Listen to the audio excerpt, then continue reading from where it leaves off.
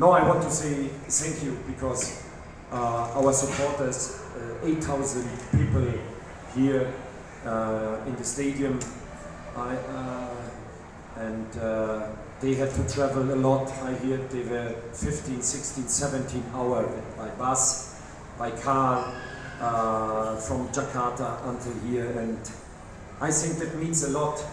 And this was good to see that the guys they could give a lot back also to the, to the supporter, and uh, we can be proud of them because they had a lot also today. Thank you. Uh, terima kasih pada 8.000 supporter Jakmania yang sudah datang ke sini. Saya dengar mereka menempuh jarak yang cukup jauh dengan bis dan uh, mobil. Itu sangat berarti bagi saya, bagi tim ini, dan syukurlah kita bisa bayar tuntas dengan